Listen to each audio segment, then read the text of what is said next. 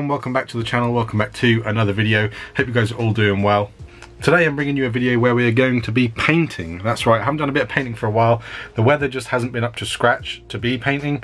Um, but now that we've got all this sun and all this nice warm weather, now is the time to paint some stuff. Now we're actually going to be paying the Astra some attention today.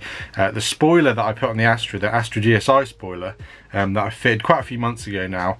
I painted that spoiler before I fitted it to the car. However, ever since then, the paint has deteriorated to the point where it looks absolutely dreadful. When I go to the car, I'll show you exactly what I mean, but the paint has like flaked away and split and it's got all these, uh, what almost looks like scratches uh, like cat scratches going all the way down it. I don't believe it's been attacked by a big cat at some point. Um, it just seems like the paint has reacted in a pretty bad way and it's all just like peeled off and flaked off and whether it's down to my painting ability or my lack of painting ability um, or some other thing, I'm sure someone will be able to tell me in the comments.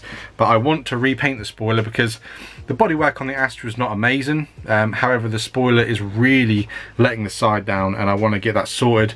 Uh, the car is probably going to be up for sale soon um, and if people see that spoiler that's probably going to turn them right off so I want to get that sorted, I want to make it look at least half decent uh, for when it comes to selling it. We've got a beautiful day outside, the sun is shining um, so I can't think of a better time to do it. So without further ado, let's get started. So just before I go to the car and remove the spoiler, I just want to show you the products that we're going to be using today. I've got the paint, I've got two tins of grey primer here. I've got the Vauxhall 157, which is the paint code for this. The Star Silver base coat there.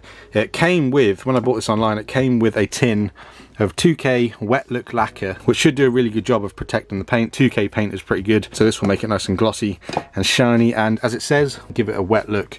Um, I've then got some just paint prep here. This is, this is just like an alcohol based pre-paint cleaner um, just to clean the surface down before I apply any paint.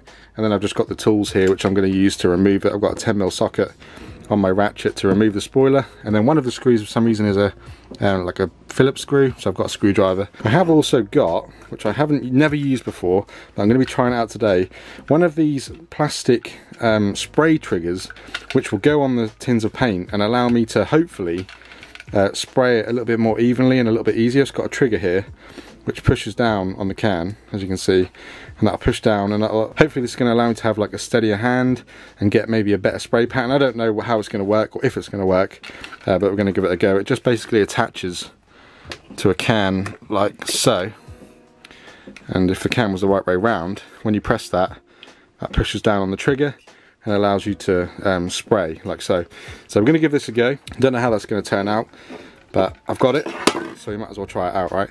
So without further ado I'm going to take my tools to the car and we shall go and remove the spoiler and get it ready to be painted. Here she is, look. She hasn't moved in ages.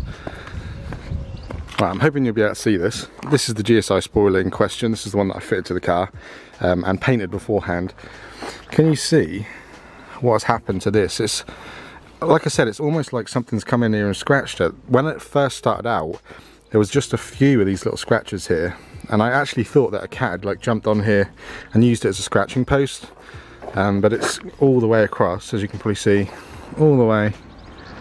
The paint is just completely split. Now when I first painted this it actually looked pretty good. Um, it was in the paint actually came out really well. I was really happy with it. Uh, but after a couple of months it just started to deteriorate really quickly. It's almost like the paint has reacted with each other or something's happened but it looks absolutely dreadful as you can uh, imagine. The rest of the paint isn't too bad on the car, but that really is letting the side down. So I want to get this sorted today. So I'm going to take it off, which is nice and easy. If I unlock the car, it's just held on by a few bolts each side.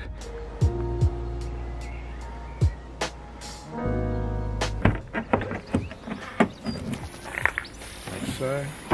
The spoiler was literally just held on by a 10 mil there, screw there, and then there's just two 10 mils on this side as well to take off. I'll tell you what, the weather today is absolutely beautiful.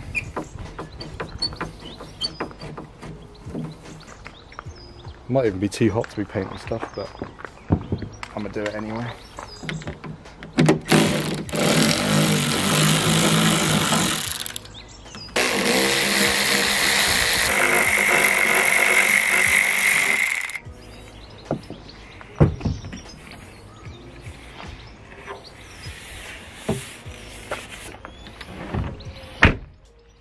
Car looks really weird with that spoiler on now.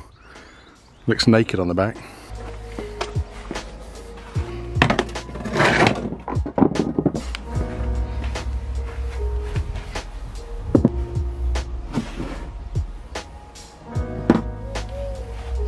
Right, so here's a slightly better look in the shade now. You should be able to see, it was rather sunny when I showed you before, but there you go. It's really rough to the touch, really dry, really rough. Doesn't feel like it's got any clear coat on it, even though I did clear coat it when I put it on there. I'm not sure if it's sun damage or reactions between the paints or the prep wasn't good enough when I did paint it or what's happened. I'm sure someone that is a professional painter will be able to tell me exactly what I did wrong um, or what's happened here for it to do this. Thing is, I painted the bottom as well, I painted the whole thing and the bottom's fine. There's, apart from not being very shiny, there's not a single split in the bottom which I find strange. Whereas at the top, where the sun is most of the time, that's where it's cracked. So I'm not sure if it is sun damage or not. It's really strange. I also want to try and find a way of getting it to sit upright, as it would on the car, because naturally it wants to fall back like that, but I can't paint the rear of it if it does that. I need to figure out a way of getting it to just stand up like that. I might drill a couple of holes in this table and put a couple of bolts through just so it sits upright. That's probably a good shout.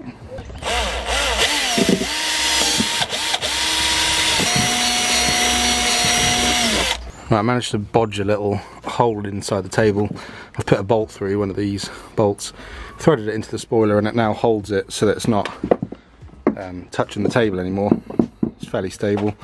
I'm only really going to be painting the top. I will blend it in with the bottom bit, but the bottom bit doesn't actually need painting. I'm just going to um, re-lacquer the bottom, uh, but the silver on the bottom is fine. I just basically want to focus more on the top, where all the paints come off. Um, so I'm going to go get the sander. And I'm going to sand all this down until it's smooth, and then we'll get painting. Right, so plan of action is this. I've got my Black & Decker mouse sander, which I'm going to go at it first. It's got fairly rough grit sandpaper on this. I'm not entirely sure what number it is, but that'll take most of the loose stuff off and most of the high spots. And then by hand, I'm going to come in with a block and some 800 grit. I'm going to take it down and make it a bit more smooth, ready for the paint.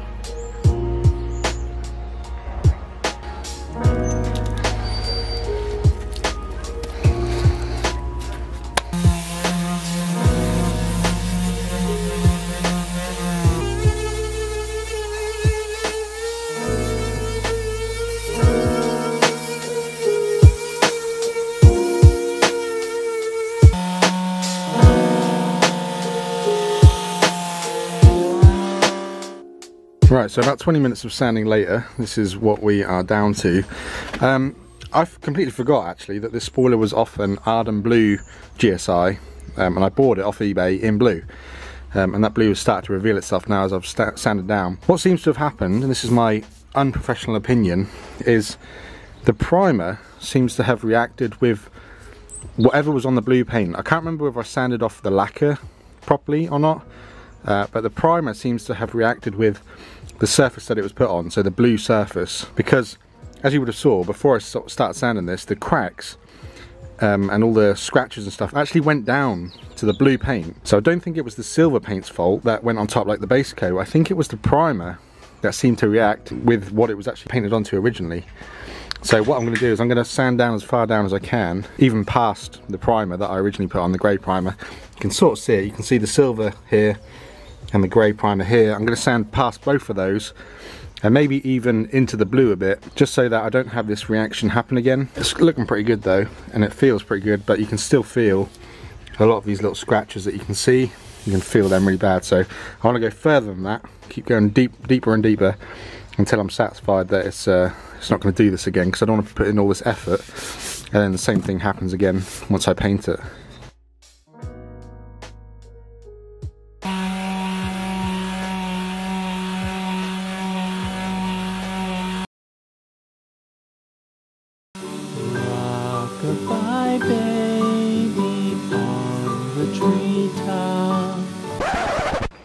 okay, welcome back, hello. It's been quite a while. I didn't realise it was going to take this long to sand, even using the electrical sander, to take off that coat of um, primer and the base coat and probably some lacquer on there as well has taken the good part of like an hour and a half. I even used like a 40 grit sandpaper and that was still struggling to take it off. Um, I must have put on a lot of layers when I painted it. I can't really remember painting this, um, but I must have put on a lot of layers of paint because it took me forever. But we are there.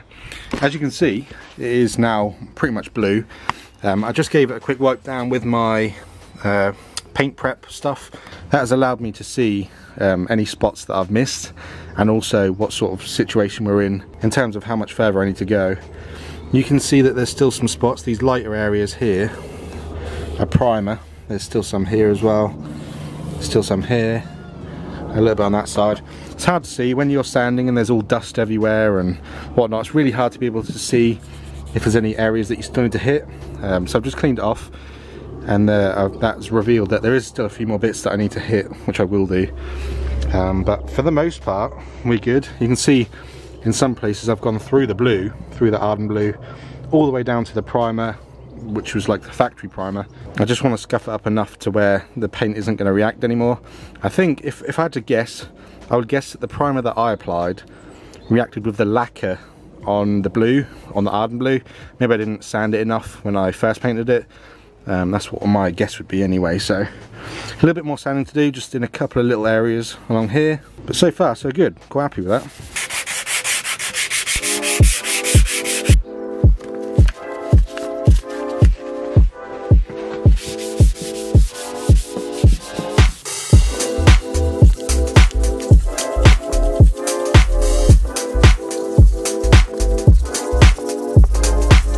Gone over the spoiler a couple of times with some 800 grit.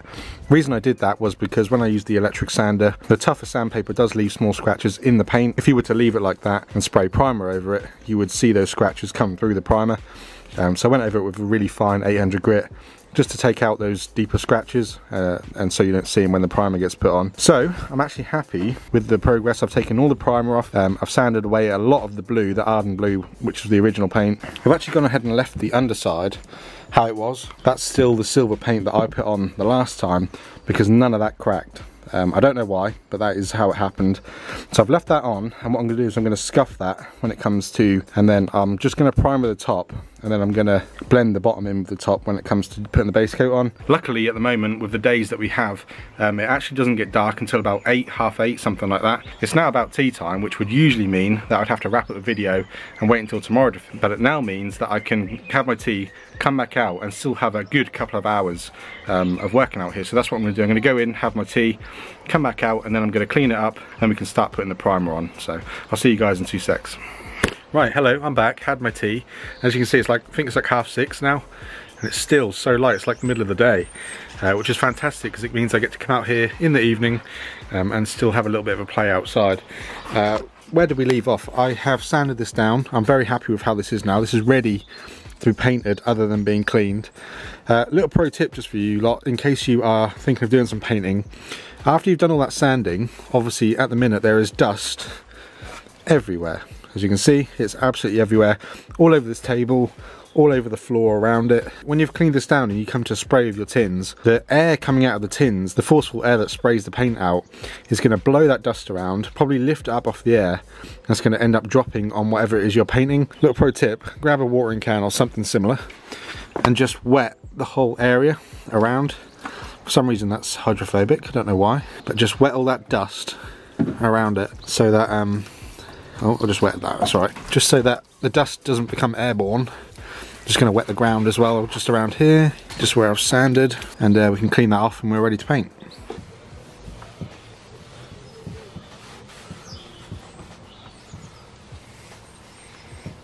You can see all that that's taken off, turns up blue. Again, in case it's relevant, this is the primer I use. Again, I buy this off eBay. Autotech.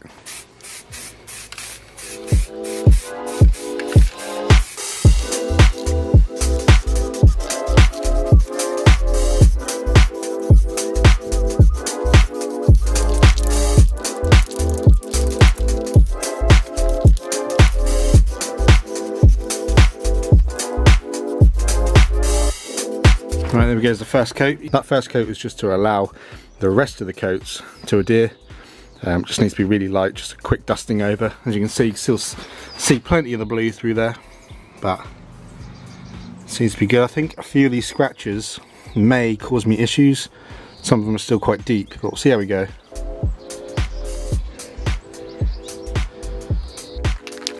Time for the second coat.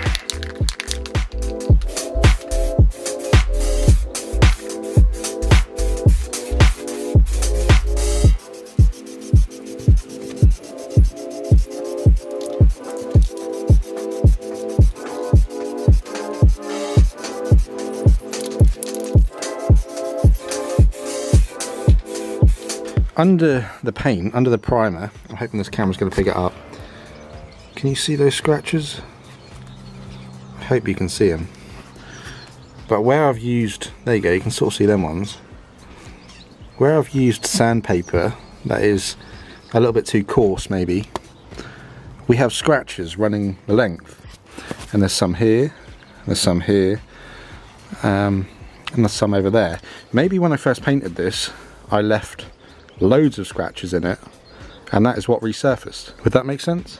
Because I don't want to make that mistake again. So what I think I'm going to do is I'm going to have to wet sand this, wet sand the primer that I just put on there, go down to the blue paint again and just make sure that there's none of these deep scratches in it because the last thing I want to do is paint this whole thing again, just sand this back a little bit, just wet sand it with a really fine grit um, and try and get rid of them. They're not everywhere, but there is some.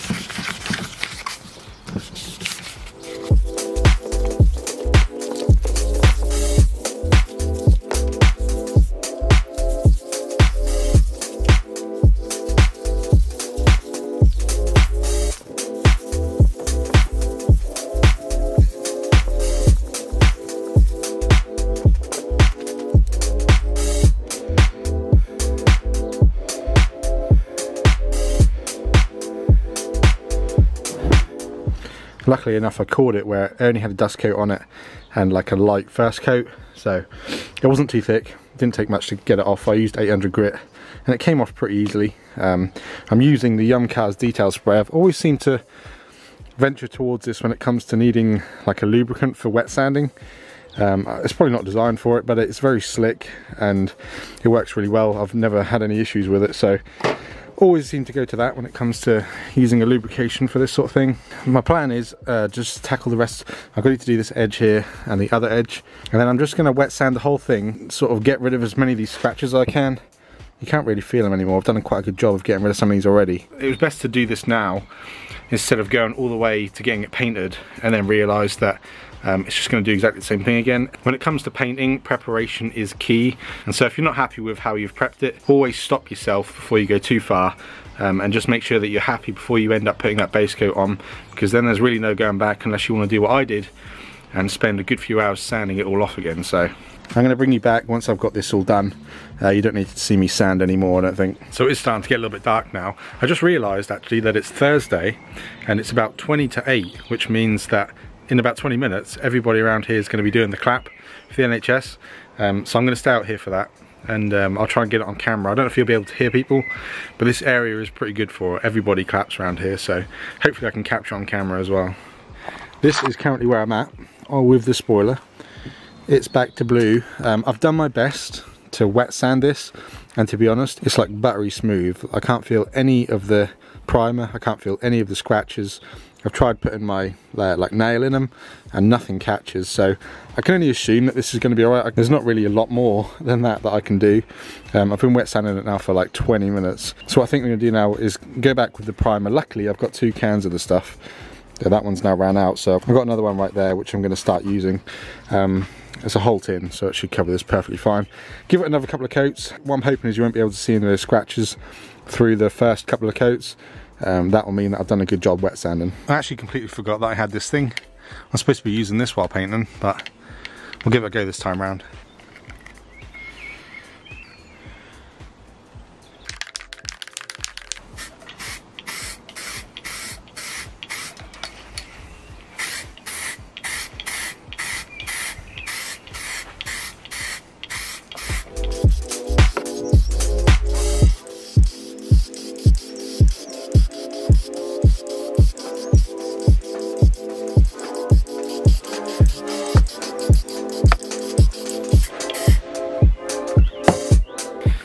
I rate that.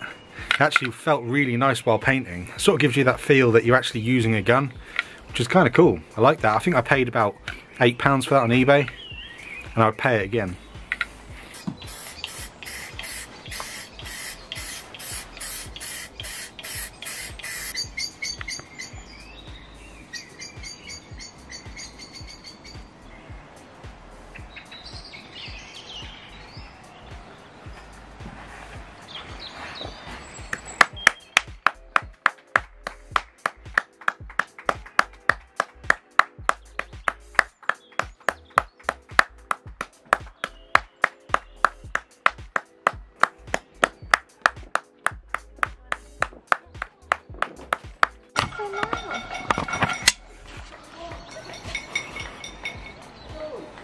It's gotten way too dark out there to film. There's something about doing that clap at 8 o'clock on a Thursday, um, just hearing everyone else do it as well, something pretty cool about that. If you or any of your family or any of your friends work for the NHS, we all thank you for what you guys are doing at the minute. That's going to about do me for this evening because I can't do any more painting, but join me out here tomorrow morning when I put the base coat on and we'll put the lacquer on and we should get it finished up.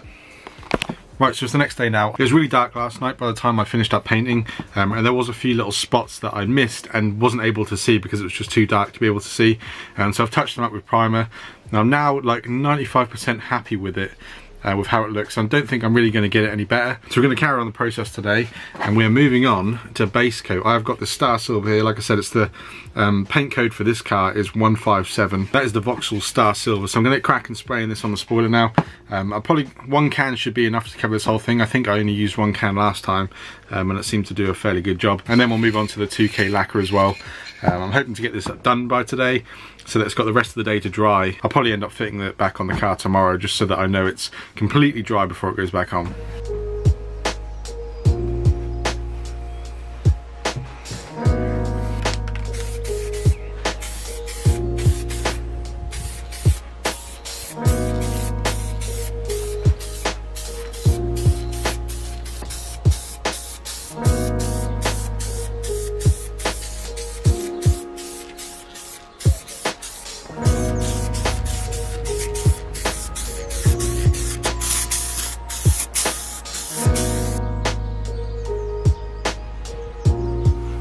Right, so the spoiler is now sprayed silver. This is uh, three coats of silver. This tin is almost empty now, so I've used pretty much as much as I can.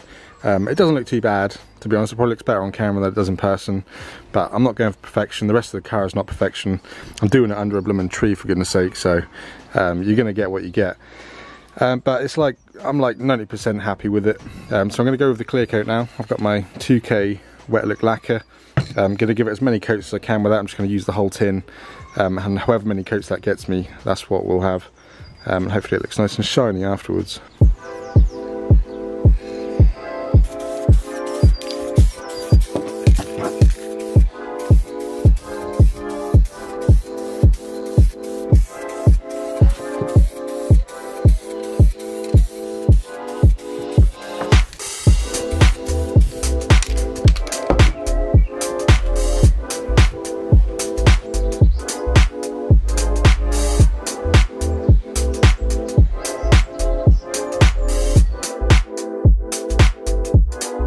The spoiler has been out here sitting in the sun.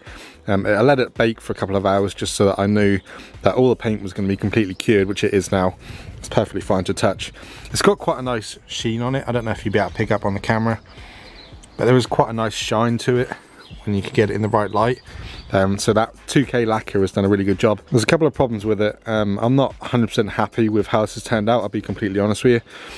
Number one is something of my own doing. I went to pick it up earlier to move it and I've put a thumbprint in there. Can you see that?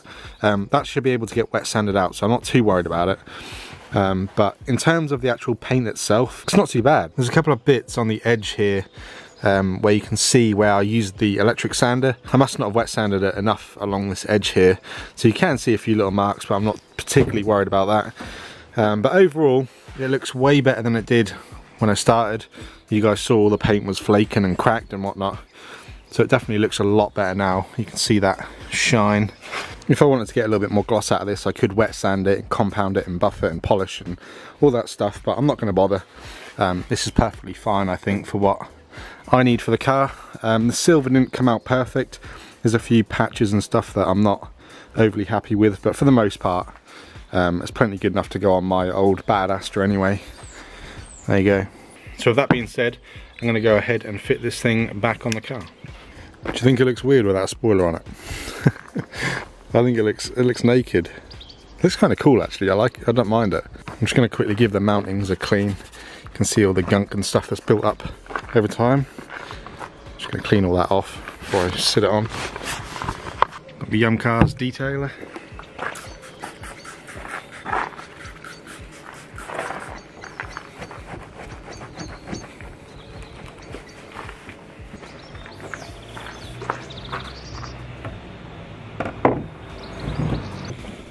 Try and balance this. Hopefully you can see what I'm doing. Just gonna get a couple of bolts in. Can't bloody see. Right, I managed to get a couple of bolts in, one each side. Just holding it on there.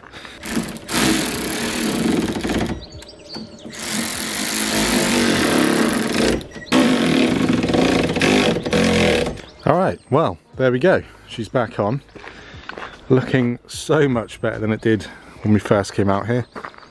As you can see, nice shiny silver spoiler with no cracks, no splits, nothing like that. Looking way better. I'm well happy with that. At least it actually matches in with the rest of the car.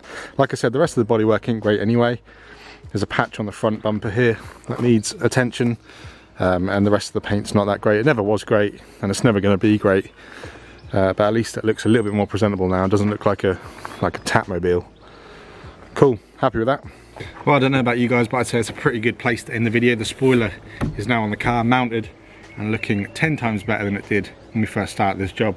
Um, I don't know what it is with painting. I've done a lot of painting over my time. I've painted wheels, body parts, side skirts, all sorts of stuff. And I don't know if it's because I lack patience or I just lack the technical skill, um, but they never seem to come out right. Um, there's always blemishes, there's always problems, um, whether that's because I'm painting underneath a tree or whether that's because I just don't know really what I'm doing that much. Probably a combination of the two, but there you go. This is the finished result. I learned a lot from doing this. I always learn a lot from, especially from painting. I pick up tips and tricks and stuff like that along the way. So I've learned some tricks for next time. I Hope you guys enjoyed the video. If you did, make sure you give it a thumbs up. It helps to grow my channel. I've got merchandise coming soon, so, so stand by for a video on that. Thank you very much for watching. I hope you guys are having fun in isolation. I'll see you guys in the next one.